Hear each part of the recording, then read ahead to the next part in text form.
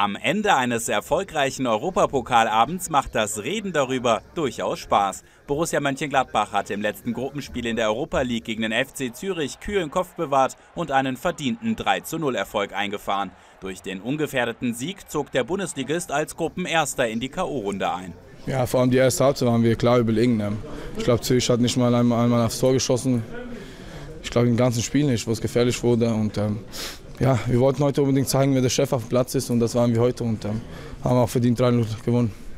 Bei einer Niederlage gegen den Ex-Club von Trainer Lucien Favre wäre Mönchengladbach aus der Europa League ausgeschieden. Doch im heimischen Borussia Park waren die Fohlen über weite Strecken her im Haus und der Sieg hätte sogar noch höher ausfallen können. Patrick Herrmann und zweimal Branimir Hügotta sorgten für die Tore und damit für den Gruppensieg. Er ist schön und er ist verdient. Er ist einfach Abrundung der ganzen Pokalrunde, die wir jetzt gespielt haben. Wir haben jetzt im DFB-Pokal inklusive Europapokal zehn Spiele nicht verloren.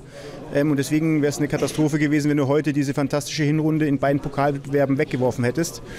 Und deswegen freut es mich, dass die Mannschaft das durchgezogen hat und auch verdient Gruppenerster geworden ist. In der Runde der letzten 32 Mannschaften gehört Mönchengladbach nun zu den gesetzten Teams. Dennoch ist auch ein Hammerlos gegen die Absteiger aus der Champions League möglich und von dem ein oder anderen sogar gewünscht.